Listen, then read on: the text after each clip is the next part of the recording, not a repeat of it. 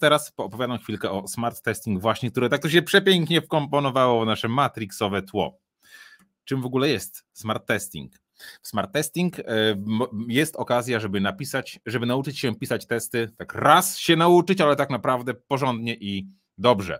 I z naszymi właśnie tymi mentorami, z Olgą i z Marcinem, można zadbać o to, żeby tę wiedzę posiąść, te umiejętności zdobyć i w teorii, i w praktyce, i następnie zadbać o rozwój swojej zarówno wiedzy, jak i kariery. E, dla tych, co mnie tam skądś kojarzą programistycznie jeszcze, testy to był mój bardzo wielki konik przez całą moją, moją karierę programistyczną, trwającą ponad dekadę. I sam się nosiłem z zamiarem, żeby zrobić coś na temat testów, ale mi się potem okazało, że jednak nie i długo szukałem osób, którym zaufam na tyle, żeby faktycznie ten temat im powierzyć. I właśnie Olga i Marcin są e, tymi osobami, co bardzo mnie cieszy. Czym jest smart testing? Smart testing to zaskoczeniem dla Was nie będzie prawdopodobnie, jest to kompleksowy program do nauki pisania testów, ale uwaga dla programistów. To nie jest materiał dla testerów, to jest materiał dla programistów. I to jest obowiązkowy krok w programistycznej ewolucji, w programistycznej karierze każdej szanującej się programistki i każdego szanującego się programisty. I dodatkowo jest to też obowiązkowy krok, obowiązkowy element naszej oferty szkoleniowej. W Smart Testing otrzymujecie ekspercką wiedzę o testach od top speców, jakimi są właśnie Olga i Marcin i y, można prześledzić ich kariery w różnych miejscach, są rozpoznawani, znani i cenieni na całym świecie. Słuchajcie, e, mają doświadczenie w praktyce, wy też będziecie mieli doświadczenie w praktyce i dodatkowo Olga z Marcinem mają bardzo fajne doświadczenie w przekazywaniu wiedzy, bo występują na konferencjach, prowadzą szkolenia, prowadzą takie spotkania jak dzisiaj. Można zobaczyć, że faktycznie wiedzę mają i potrafią ją przekazać, co jest bardzo istotnym elementem e, w każdej edukacji. Smart testing otrzymujecie holistyczne podejście, czyli tych test, typów testów jest wiele, bo będą testy jednostkowe, będą testy integracyjne, będą testy wydajnościowe, będą testy end-to-end, testy mutacyjne, property-based testing również. Tam są, są testy programistyczne z każdej możliwej perspektywy. Komplet, holistyczne podejście. E, smart Testing cieszy się sporym zainteresowaniem. Na liście naszej mailowej do wczoraj było 9407 osób. Prawie 10 tysięcy programistek i programistów zdecydowało się wchłonąć materiały z listy, żeby e, ewoluować razem z nami i z naszymi materiałami, co bardzo nas cieszy. Teraz będziemy rozpoczynali kolejną edycję, tak zwaną Smart Testing. Wcześniej, jakiś czas temu, odbyła się edycja pierwsza. Dziś, e, te, te, teraz będzie startowała druga. Dotychczas smart testing mamy prawie 2000 osób, dokładnie 1920 osób i te 1920 osób przełożyło się, to zawsze pokazuje, bo to bardzo fajnie wygląda, na ponad 2 miliony 100 tysięcy złotych przychodu ze smart testing, co jest wynikiem, to widać zresztą, że bardzo fajnym. By the way, teraz nagrywam, e, publikuję do Was, z mieszkania, które zostało kupione specjalnie po to, żeby tutaj właśnie nagrać e, materiał do smart testing i jak jakiś czas temu przy premierze tego produktu zostało to powiedziane, to pojawiły się heheszki, że oj, na pewno się to mieszkanie nie zwróci. Jak widać, zwróciło się i to wielokrotnie, bo to jest naprawdę sztos materiał. Co testy dadzą i tobie, i twoim systemom? Przede wszystkim szybszy rozwój kodu, szybszy rozwój tych systemów właśnie, bo będzie to e, robione z większą pewnością. Dodatkowo jak są dobrze napisane testy, tam gdzie trzeba i takie jak trzeba, to łatwiejsze jest utrzymanie tych systemów, czyli tak maintenance. Dodatkowo uzyskujemy bezpieczne i szybsze wdrożenia. E, wdrożenie w piąteczek o 16 z odpowiednimi testami to bardzo często nie jest problemem. Podczas pracy uzyskujemy większe skupienie i większą produktywność programistyczną. Dodatkowo w zespole będziemy mieli lepszą komunikację bo programiści mogą się porozumiewać, porozumiewać i komunikować za pomocą testów właśnie i jeśli jesteśmy on the same page, jak to się mówi, to to bardzo, bardzo fajnie działa. I wreszcie możemy zyskać taką korzyść, y, którą jest zrozumienie i weryfikacja reguł z biznesu, które do nas przychodzą. Było to pokazane w demo, mówiła też potem to Olga na prezentacji. Dostajemy jakieś reguły z biznesu i możemy bardzo szybko zweryfikować, czy nasz kod spełnia te reguły. Jeżeli nie, to jesteśmy w stanie y, dociekać, dlaczego nie i na ten temat z biznesem porozmawiać. A co testy dadzą Twojej karierze? Niekoniecznie konkretnie aktualnej pracy, ale w Twojej całej karierze. No i to pojawiają się takie pytania. Po pierwsze, ile znasz osób, które naprawdę porządnie potrafią pisać testy? 1920 z poprzednich slajdów, osoby, które w smart testing wzięły udział. Ogólnie z tym nie jest wcale tak różowo, z pisaniem testów przez programistki i programistów. Takich testów, które faktycznie mają ręce i nogi. Pytanie jest kolejne: ile osób albo zespołów zaczęło pisać testy i zrezygnowało z tego? Albo się okazało, że to bez sensu, że to za trudne, że to strata czasu. Do tego jeszcze wrócimy. Takich osób też jest bardzo dużo. E, te osoby nie były w smart testing. No i wreszcie firmy. Ile osób firm e, i tfu, ile firm podczas rekrutacji chwali się tym, że albo testy pisze, albo chciałoby pisać firmy chciałyby mieć testy, jakby to było jakieś nie wiadomo co, nie powinno to być nie wiadomo co, a niestety cały czas jest. I misją Smart Testing jest to zmienić. Więc dzięki testom dobrze pisanym, pisanym w, w, takich typach jak trzeba i tam, gdzie trzeba, a nie pisanych wtedy, kiedy nie trzeba, Twoja pozycja w zespole może bardzo urosnąć. Rekrutacja stanie się łatwiejsza, bo ekspertów programistycznych od pisania testów nie jest wielu i nowe odpowiedzialności można zyskać dzięki temu, że testy pozwolą lepiej zrozumieć biznes. Brzmi nieźle. Do kogo smart testing kierujemy? Smart testing uczymy od początku, ale trzeba umieć programować. Jeśli nie wiesz, co to są w ogóle testy, to chodź, bo tam jest od początku. Jeżeli masz za sobą przygodę już z testami, to też chodź, bo tam jest od początku, ale od samego początku ta wiedza jest przydatna nie tylko osobom, które nie wiedzą, co to są testy. A jeżeli już piszesz testy, ale chcesz robić to lepiej, to chodź tym bardziej, bo właśnie tutaj się tego nauczysz. Ale jest jedno ale do kogo nie kierujemy smart testing. To bardzo ważne. Smart testing nie kierujemy do osób, które dopiero chcą zostać programistami, do osób, które dopiero chcą wejść do IT, albo tym bardziej do osób, które chcą być testerami. Najpierw nauka programowania, chociaż jeden język, w jakich językach jest smart testing, do tego zaraz dojdziemy, a dopiero potem testy, bo żeby pisać testy trzeba wiedzieć do czego, a żeby wiedzieć do czego trzeba umieć programować przede wszystkim. No i pytanie, kiedy start drugiej edycji Smart Testing? Ogólnie taki zarys historyczny trochę. My o Smart Testing rozmawialiśmy od lipca 2019, więc prawie 3 lata temu zaczęły się na ten temat rozmowy. Rok później, w maju 2020, ogłosiliśmy projekt i badaliśmy zainteresowanie, które okazało się być na bardzo, bardzo satysfakcjonującym poziomie. W sierpniu 2020 zweryfikowaliśmy to zainteresowanie w najlepszy możliwy sposób, czyli odpaliliśmy przedsprzedaż i się okazało, że wynik tamten był naprawdę bardzo fajny. A w październiku 2020 uruchomiliśmy pierwszą edycję. Więc jak widać, to było prawie półtora roku temu i trzeba było sporo czekać na edycję drugą, która rozpocznie się w najbliższy poniedziałek 21 lutego. To ważne, że trzeba było długo naprawdę czekać na odpalenie kolejnej edycji. Jak smart testing wygląda? Jest to program w 100% online, lekcje są w formie wideo, ale jest do nich dołączone bardzo, bardzo dużo fajnego kodu w pięciu językach. W jakich? To zaraz. Nowy materiał jest publikowany co tydzień, w każdy poniedziałek.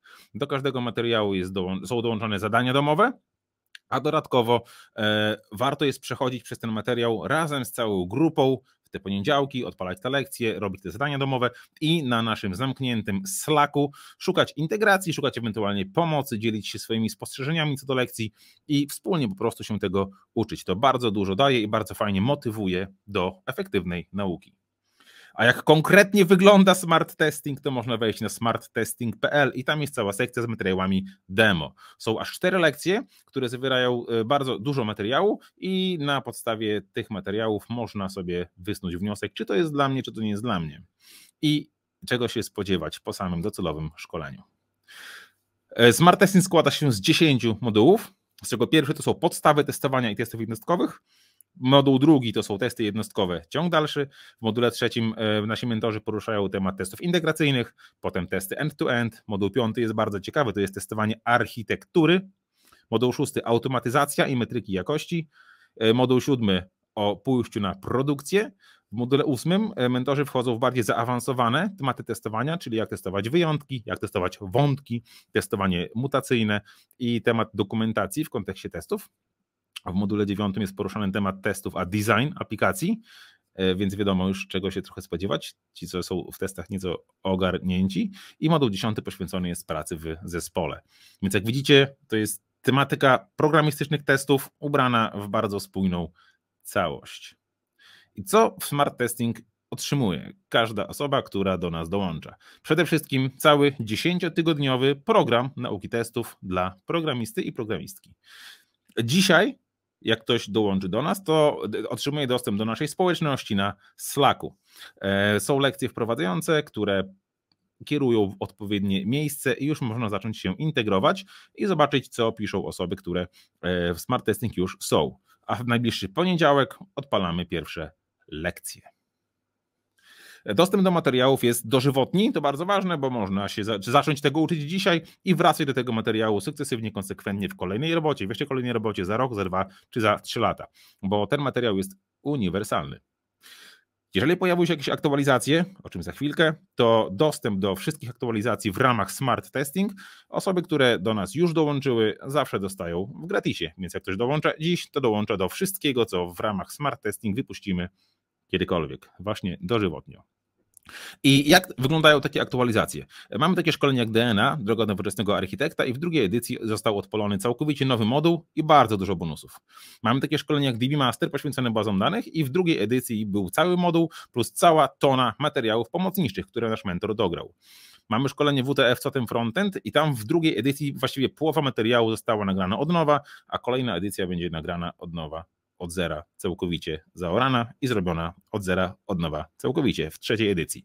I osoby, które były w pierwszych edycjach, to wszystko dostają w cenie. I co bardzo ważne, jako że startuje dzisiaj druga edycja Smart Testing, to e, w samych smart, w smart Testing również pojawiły się aktualizacje. Jest bardzo obszerna lekcja z tym, co najbardziej, a czego najbardziej brakowało według e, naszych uczestników, czyli dużo kodowania na żywo, live coding, e, gdzie nasi mentorzy pokazują, jak to jest pisać testy jednostkowe from scratch od zera. E, są dodane dwie aplikacje biznesowe do testowania dla uczestników i w modułach od drugiego do dziewiątego są dodane bardziej zaawansowane prace domowe. E, to wszystko zostało stworzone na podstawie feedbacku i rozmów z naszymi uczestnikami, więc słuchamy Was bardzo uważnie i staramy się te oczekiwania dalsze spełniać konsekwentnie cały czas. Więc te aktualizacje, jeśli pojawią się w kolejnych edycjach, to też e, wszystko to jest dodawane już w tej cenie, która obowiązuje dzisiaj. I osoby, które już są z nami w Smart Testing z przedsprzedaży i z pierwszej edycji, to co teraz dorzuciliśmy, także dostały już za darmo. Oprócz aktualizacji dajemy też dostęp do zamkniętej społeczności, którą mamy na Slacku. Co to jest za społeczność? E, tam w czasie trwania tych 10 tygodni e, smart testing jesteście pod opieką mentorów. E, można zadawać pytania, można pogłębiać tematy, można prosić o poszerzenie tematów, można prosić o dyskusję na temat czy zadań domowych, czy konkretnych lekcji. Bardzo ważne jest to, że tam nie ma komunikacji jeden do jednego. Uczestników jest wielu i staramy się, żeby nasi mentorzy byli jak najbardziej eksploatowani oczywiście, ale nie jeden do jednego, tylko tak, żeby faktycznie każdy na tym skorzystał, więc problemy są publiczne, dyskusje są publiczne, rozwiązania i sugestie również są publiczne. E, na Slacku można też prosić o różne uzupełnienia materiałów i one się bardzo zwykle pojawiają. E, Fajne jest to, że w tej społeczności nie tylko nasi mentorzy się udzielają, ale udzielają się również bardziej doświadczone osoby, które potrafią pomóc mniej doświadczonym osobom i podzielić się również e, swoją wiedzą właśnie tam. Fajne jest to, że można przechodzić wspólnie przez lekcje i na ten temat dyskutować tydzień po tygodniu i oczywiście nawiązać nowe znajomości, a nowe znajomości to nowe możliwości. I co niezmiernie istotne, to wszystko jest objęte stuprocentową gwarancją zadowolenia, którą określamy mianem zero ryzyka, aż do 14 marca 2022, czyli od dziś praktycznie miesiąc. Na czym to polega? Polega to na tym, że nam wszystkim najbardziej zależy na zadowoleniu naszych klientów, na zadowoleniu naszych uczestników. Więc jeżeli cokolwiek Ci się nie spodoba, cokolwiek, to do 14 marca 2022 możesz odzyskać 100% wpłaconej kasy. Koszty tego wszystkiego, wystawiania faktur, proform płatności i tak dalej są po naszej stronie. Do Ciebie na konto bezpośrednio wraca 100% e, zapłaconej kwoty i to jest bardzo ważne, bezwarunkowo. Tam nie ma żadnych gwiazdek, nie ma żadnych dodatkowych regulaminów zwrotów. Jeśli ktoś chce odzyskać kasę z powrotem, to ją wysyłamy i tyle. Z dowolnego powodu. Zapytamy o ten powód, ale nie trzeba go nam podawać. Zapytamy, bo chcemy wiedzieć, co możemy polepszyć. Ale jeśli ktoś po prostu napisze, o to oddajemy i już. Więc podsumowując tę całą gwarancję, jeśli teraz się kupi, to się kupuje w najniższej możliwej cenie, a decyzję o ewentualnym zwrocie zachowuje się do 14 marca 2022. W tym czasie można przejść przez te materiały, które do tego czasu udostępnimy. I to jest, tak jak mówiłem, bezwarunkowe. Powtarzam to słowo, ponieważ ono jest bardzo ważne w tym przypadku. I jako bonus e, dostaje się też, i to od razu już dzisiaj, nagrania z naszej konferencji online Smart Testing Conf. Tam było kilka bardzo fajnych wystąpień na różne tematy przez różnych ekspertów, a dodatkowo tam jest e, na naszej platformie edukacyjnej masa innych ciekawych materiałów kręcących się wokół test, e, testów, ale nie będących bezpośrednio częścią szkolenia Smart Testing. I to wszystko jest też dostępne już od razu teraz dzisiaj. Więc jak ktoś dołączy dziś, to już ma masę materiału do e, zapoznania się. Jaka jest cena smart testing? To zaraz. E, żeby na, taki nakreślić pewien kontekst, e, jak mówiłem, ja zajmowałem się bardzo dużo testami za, swojej, za, za, za, swoich czasów programistycznych i jak prowadziłem 3 lata temu ostatnie swoje szkolenie z tego tematu, to brałem 6700 plus VAT za dzień szkolenia w firmie, a te szkolenia były zawsze trzydniowe u mnie. Jak robiłem szkolenia otwarte, jednodniowe, że każdy mógł sobie kupić bilet i tam wejść, to za jeden dzień takiego szkolenia u mnie płaciło się 1500 plus VAT za osobę. Mentorów naszych nawet nie pytam o aktualne stawki, e, boję się, że mógłbym zostać zawstydzony, ale to w takich obszarach się poruszamy. Zaraz przejdziemy do tego, jak to wygląda tutaj w smart testing. E, ze smart testing wiąże się kilka pytań, żeby rozwać wszelkie wątpliwości. Jaka technologia jest używana w smart testing? Po pierwsze, przede wszystkim to nie ma większego znaczenia, bo wyda z testów jest uniwersalna.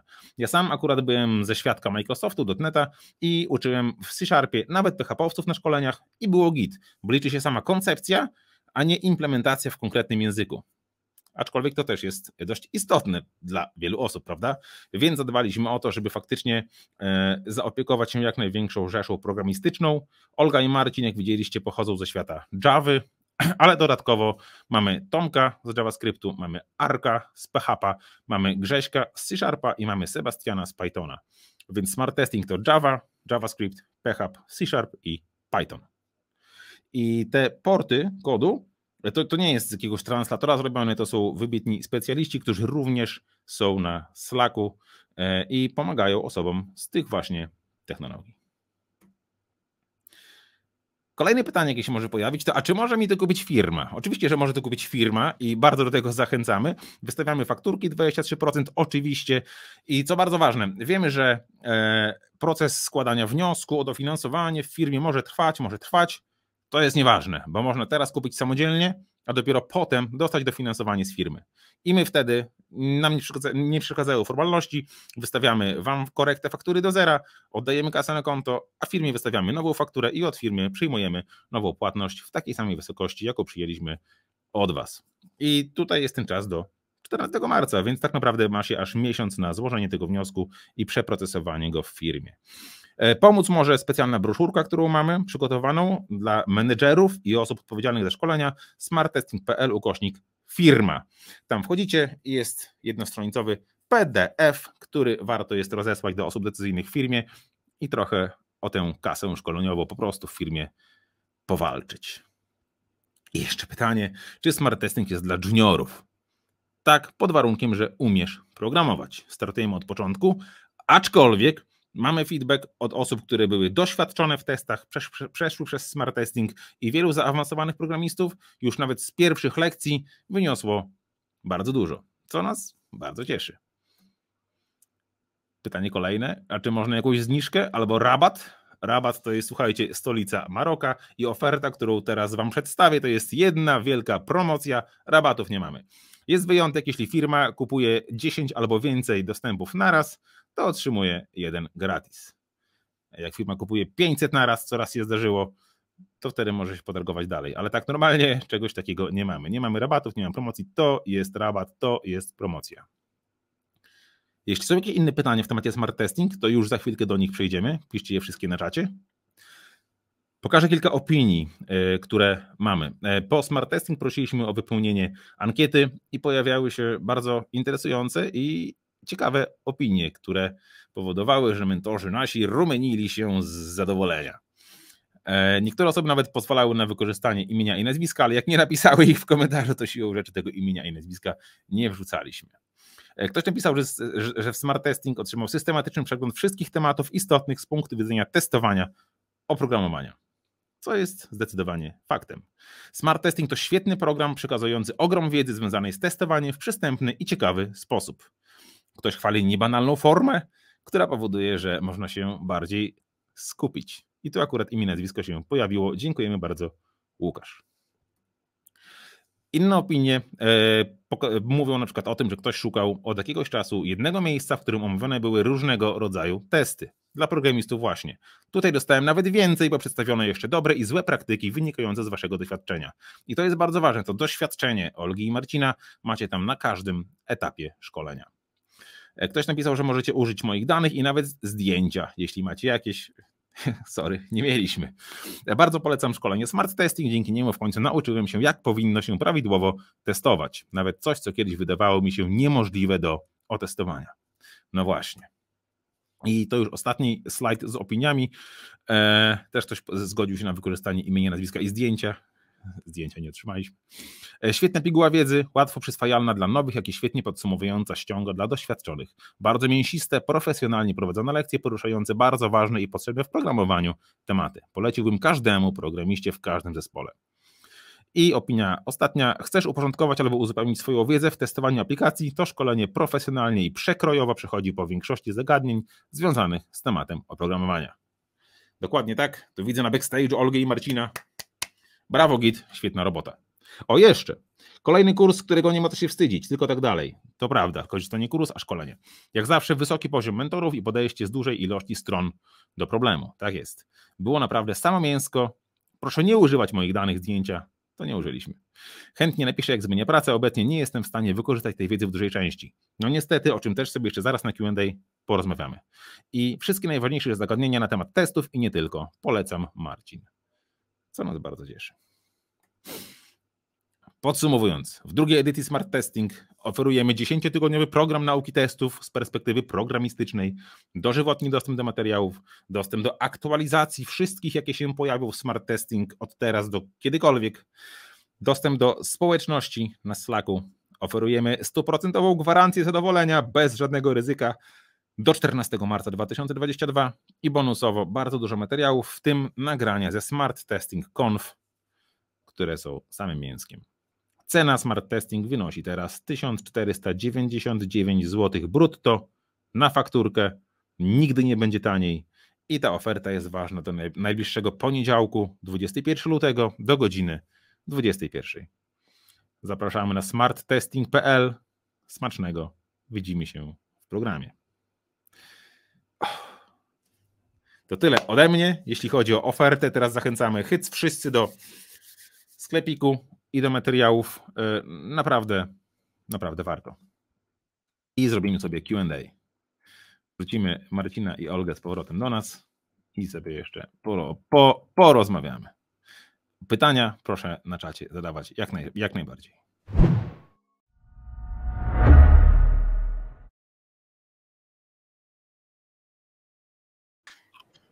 No siema, co wie na to? Ja bym kupował. A ty Olga? No, mi jest miło słyszeć też takie opinie. Y, to, to, to kilka wybranych, ich było naprawdę dużo. Więc e, gdybyś kupował Marcin, to ślub, smarttesting.pl zapraszamy. Robert, możesz potem napisać opinię i powiedzieć, czy możemy wykorzystać twoje dane. Ale bez zdjęcia. Może być bez. Bardzo mi się podobało, że Rabat to stolica Maroka. Coś pięknego. Tak. Mm. Tak.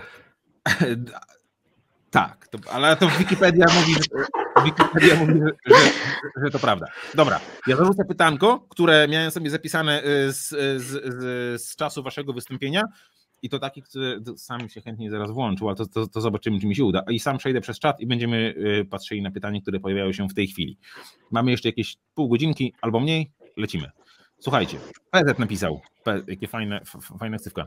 Najtrudniej to jest przekonać biznes do testów, bo w większości komercyjnych projektów to strata czasu. Bum, Olga, co ty na ten temat powiesz? Generalnie jest tak, że biznes myśli pieniędzmi, więc trzeba przekonać biznes, że jakby jak napiszemy te testy i będziemy mieć mniej błędów, to zaoszczędzimy, bo tak naprawdę, szczególnie jeżeli chodzi o te testy na niższym poziomie, im szybciej znajdziemy błędy i je naprawimy, tym jest o wiele, wiele, wiele tańsza e, ta naprawa. Ja też o tym trochę mówię w szkoleniu, podając przykłady z życia, gdzie naprawdę jakieś dopisanie testów pozwoliłoby na uniknięcie milionowych strat firmom.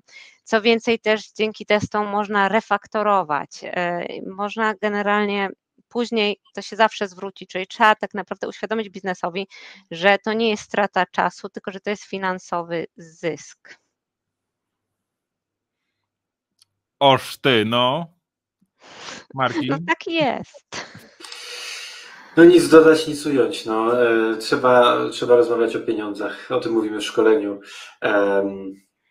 Można to też na przykład liczyć, ile czasu się traci na czekanie na, bo na przykład nie mamy, powiedzmy, że jest bardzo mało testów tego wyższego poziomu, to można jakby pewne statystyki przedstawić, ile czekamy, zanim ta suita się skończy e, i czekanie to jest spalony pieniądz, tak? I na przykład można byłoby te, sam, te same pieniądze zainwestować w to, żeby mieć jakąś suite tych testów niższego, że, czy tam unitów nazwijmy to, czy tam jakichś tam integracyjnych i na przykład feedback jest w przeciągu minut, a nie godzin, a to wszystko kosztuje. W ogóle sam czas realizacji jakichś feature'ów, nie? Albo wdrożeń, że do, o, po wprowadzeniu testów, jak powiecie, co chcecie, to my to zrobimy po prostu dużo szybciej i nie rozwalimy przy okazji całego procesu, który w ogóle nie jest z tym featurem teoretycznie powiązany. Okej. Okay. E, pyta Umar, czy będzie to się testach GUI? Smart testing. Będzie. Jest moduł poświęcony temu. Od razu mówię, że to nie jest e, nasz główny punkt zainteresowania, więc tego, to nie jest tak, że większość szkolenia jest o testach GUI albo nie wiem, połowa, natomiast jest temu poświęcony moduł. I dobrze. Mateusz e, zauważył, że jest testerem i wykupił to szkolenie. Czy powinieneś ubiegać o zwrot? Mateusz, jeśli jesteś zadowolony, to absolutnie nie. Robimy takie zastrzeżenie, bo i z przedsprzedaży, i z pierwszej edycji, i później też z bardzo wielu maili, które otrzymałem na ten temat, e, no, widzę takie. Po prostu było dużo bardzo pytań od testerów, którzy chcieliby uprościć swoją pracę testera. Jeżeli jesteś testerem, który pisze testy jednostkowe, który pisze testy integracyjne, który pisze testy end-to-end, to smart testing jest jak najbardziej dla ciebie, tylko wtedy nie jesteś testerem, tylko programującym testerem jeśli tester jest programującym testerem, to jak najbardziej zachęcamy do e, wzięcia udziału. Olga, ty zaczynałaś jako testerka. Powiedz, jak widzisz tę różnicę między testerem, pracą testera a pracą programisty i dlaczego smart testing wpasowuje się bardziej w programistyczne e, obowiązki?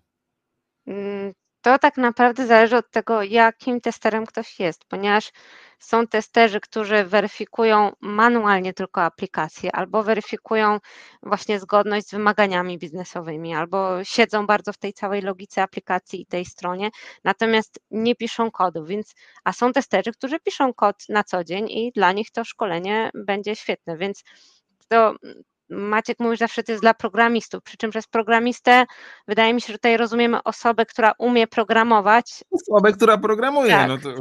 A niekoniecznie osobę, której stanowisko pracy nazywa się programista. Więc jak stanowisko pracy nazywa się tester, a osoba umie programować, no to tak samo będzie to dla niej szkolenie, jak dla wszystkich innych programistów, programistek. Bo taka osoba jest programistą albo programistką, tylko pracuje jako tester. Możemy tak się umówić? Tak. Musimy w sumie. okay. Dla mnie tak. E, Blumex pyta w temacie PBT, Property Based Testing, czy PBT umożliwia wyłapanie przypadków skrajnych? Na przykład program wywala się tylko dla jakichś konkretnych danych. Czy zazwyczaj dostaniemy przeciętny przypadek, przez co takich przypadków nie wykryjemy? No to właśnie mieliśmy dzisiaj taki przypadek że wyłapaliśmy przypadek skrajny. Oczywiście może być tak, że framework nie da rady nam dogenerować po prostu tak, takiego zestawu danych, e, bo na przykład trwałoby to za długo, albo po prostu nie mieliśmy szczęścia tym razem. Tylko idea jest też taka, i Olga o tym mówiła, że ktoś może stwierdzić, że te testy są niedeterministyczne. To znaczy, że na przykład 9 razy przejdą, a raz nie przejdą. Raz nie przejdą, dlatego właśnie, że wychwyciły jakiś skrajny przypadek.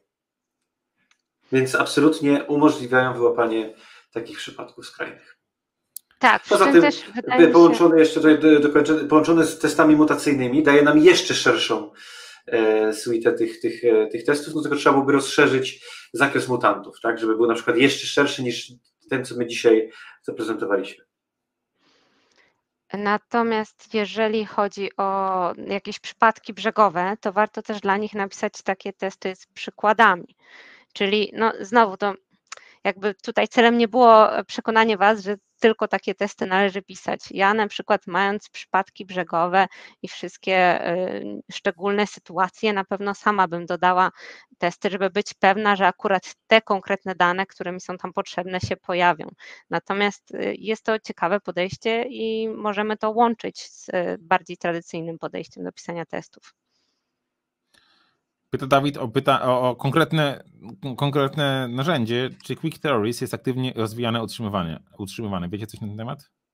Właśnie spojrzałem w międzyczasie, bo zobaczyłem to pytanie.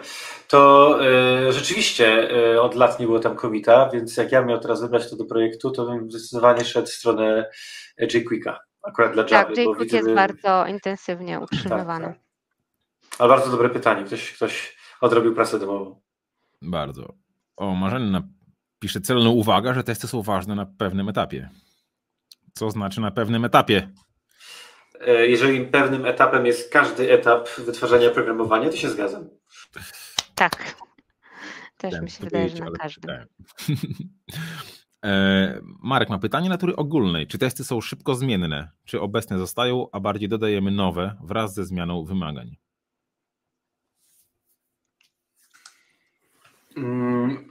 Znaczy, znaczy no, zostają obecne, tak? E, no jeżeli mamy jakieś testy, no to po to, żeby weryfikować, czy no, stan aktualny jest utrzymany. E, jeżeli mamy jakieś nowe funkcje, no to dodajemy nowe testy. E, jeżeli wymagania się zmieniają, no to wyobraźmy sobie, że ktoś, ktoś zmienia w tym momencie wymagania w naszym kodzie, to jeżeli ja zmienię te wymagania w kodzie produkcyjnym, a żadne testy mi się nie wywalą, to, to powinno być smutno. tak? Więc ja oczekuję wówczas, że się testy wywalą. Ja muszę je dostosować do nowych wymagań. I na tym oczekiwaniu bazują też testy mutacyjne właśnie. Nie? Że zmiana kodu testy... powoduje się testów. Tak, tak, testy mutacyjne, ale te, te, też testy oparte na właściwościach. Mhm. Okej, okay, więc no, testy odwzorowują zachowanie kodu, więc jak się kod zmienia, to siłą rzeczy testy również powinny. Mm, jest uzupełnienie od Michała z kolei, że bardzo rzadko zagląda do testów, które już raz napisał. Jedynie jak mi na buildzie wyfailują. No. Ja bym widział jeszcze jeden przypadek, y, gdy mm, raz na jakiś czas warto zobaczyć, czy te testy nie są wolne. Czyli zrobić sobie audyt y, builda, audyt y, czasu uruchomienia testów, bo może się okazać, że napisałeś no, jakiś czas temu 10 testów, które razem trwają na przykład 3 minuty. E, I warto zobaczyć dlaczego i do nich wrócić. Ale rzeczywiście e, ja traktuję te unity, e, czy tam w ogóle testy jako formą, jakąś formę testów regresji, że betonuję, że tak powinno być. Miałem buga, poprawiłem, napisałem test, test się zepsuł, poprawiłem buga, test przechodzi i teraz mam zabetonowaną sytuację, czyli nie, nie powtórzę tego błędu, więc. Tak zwane safety net, jedno z zastosowań testów.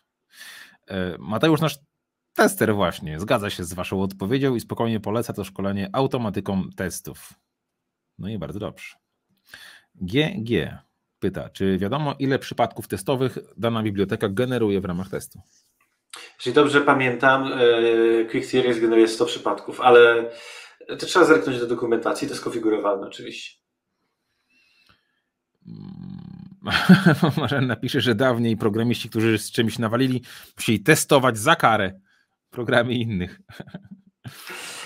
Akurat to jest ciekawa, ciekawa uwaga, bo w przypadku takiej, o tym też chyba mówimy e, w szkoleniu, albo na pewno mm. wspominaliśmy na, jednym, na jednej prezentacji, że w przypadku takich podejść, ja pamiętam chyba jedną z moich pierwszych firm, mieliśmy takiego skrama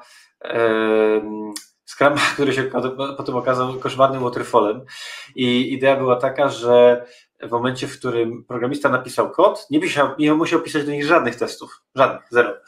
E, I potem była e, grupa testerów, którzy to Życie na krawędzi, widzę. Tak, i oni mieli problem, czy one, tak, bo to była duża grupa.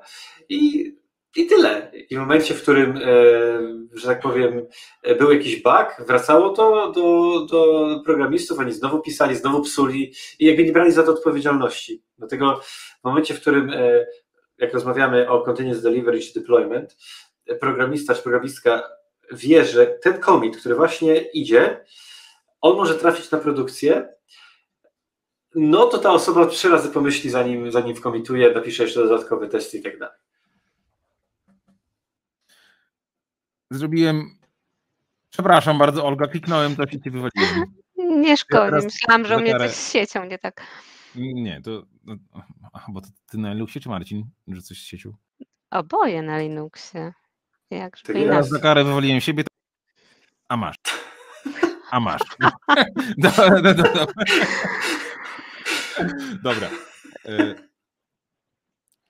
to, to ja. No, dobra, dobra. GG pyta, ale to konkre- już jest konkretne zastosowanie danej biblioteki. E, czy też można wygenerować rachunek bankowy, NIP czy PESEL? Olga, ty Trzeba się nastarać z tymi, jeżeli chodzi o, o te testy do własności, to trzeba by się pewnie jakoś nastarać bardzo z tymi warunkami wejściowymi, żeby to działało. E, myślę, że to by była spora gimnastyka i to, to zresztą też nas prowadzi do tego, kiedy nie warto używać takich testów. Więc jeżeli czas napisania takich testów bardzo wzrasta w stosunku do e, innego rodzaju testów albo jest jakieś bardzo skomplikowane, albo nie wiem, testujemy coś integracyjnie i, i mamy dużo jakichś winów i zależności, to ja osobiście bym się raczej trzymała tych tradycyjnych przypadków testowych. Natomiast jeżeli chodzi ogólnie o generatory danych, to e, już abstrahując od testów e, opartych na własnościach, to warto z nich korzystać, żeby samemu nie wymyślać e, koła od nowa, ponieważ jest sporo takich generatorów dostępnych jako biblioteki, więc nie ma co po prostu pisać generatora, który robi PESEL, bo już ktoś to dla nas zrobił. I co ważne, pewnie to przetestował w jakiś sposób, nie? Bo w sumie wygenerować tak. PESEL też można na 100 różnych sposobów i jak się pisze to samemu, to potem trzeba pisać testy do testów. O. Tak, tak, tak. I są takie biblioteki, które nawet łączą te dane, że na przykład PESEL podaje, wygenerują całą osobę, która ma i PESEL zgodny, i datę urodzenia z tym, i jakiś tam region zamieszkania i tak dalej. A wiesz, to doskonale, bo sama pisałaś taki framework. Komitowałam do niego, tak. Ale to nie jest jedyny, jest ich więcej, więc to... Jest ciekawe pytanie od Piotra. Piotr pyta, czy property-based testing nie jest przesadą albo manifestacją problemu, jakim jest nie wiem, jakie testy napisać, nie znam wymagań, niech mi framework wszystkie przypadki sam wygeneruje. I dalej w kolejnych komentarzach Piotr pisał, że zwykle udało się zredukować liczbę testów, pisząc po prostu zwykłe unity. Ja bym się tutaj nie zgodził, że powiedzmy nie mam pomysłu, co napisać za test, więc zrobię sobie, użyję sobie frameworku do property-based testing. Dla mnie jest to, może być to pewne uzupełnienie aktualnej suity testów, to jest jedna rzecz. E, druga rzecz, e, co dla mnie było takim, takim e, odkrywczą rzeczą, to było, że faktycznie muszę dobrze przemyśleć problem z punktu widzenia użycia. I przykład, który Olga podała, dotyczący na przykład przelewów, jest bardzo ciekawy.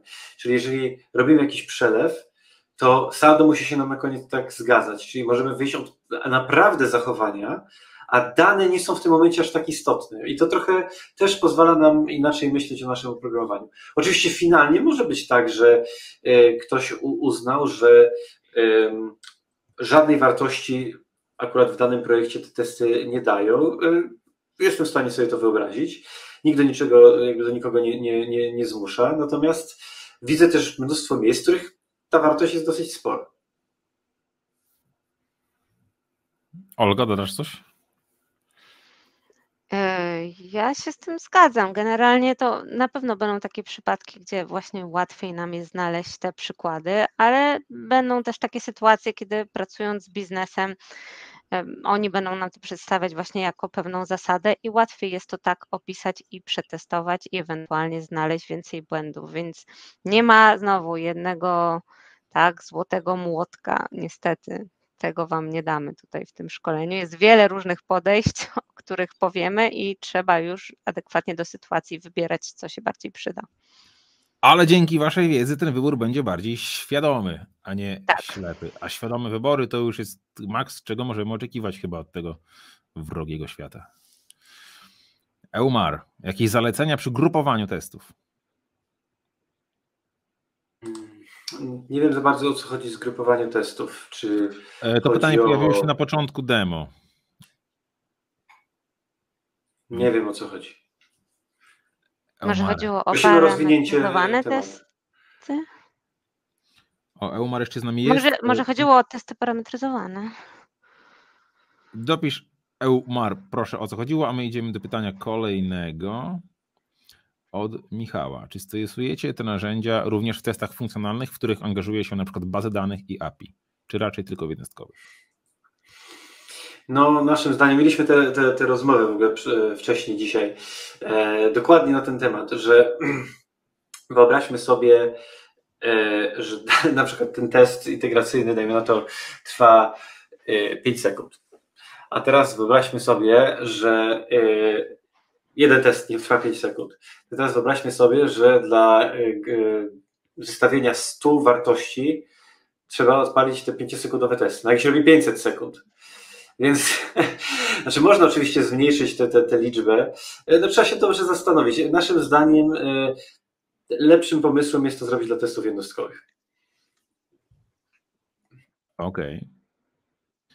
Dzięki.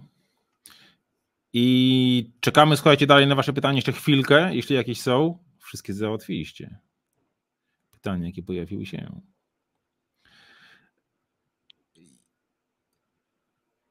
Za, za, za, zanim się jakieś ewentualnie pojawią, to e, po pierwsze wrzucę tutaj jeszcze nasz banerek oczywiście, a po drugie zadam Wam pytanie, ja z kolei, na co najbardziej trzeba uważać podczas pisania testów, według Was?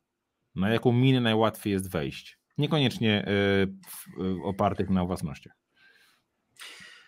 Akurat e, mamy chyba to jest dziewiąty moduł, w którym pokazujemy przykłady złych testów. To, to e, warto, warto tam zerknąć, jakie można błędy popełnić. Natomiast e, ja nawet popełniłem ostatnio taki błąd. Dobrze, że mamy te IDE, bo tak to byłby absolutny dramat.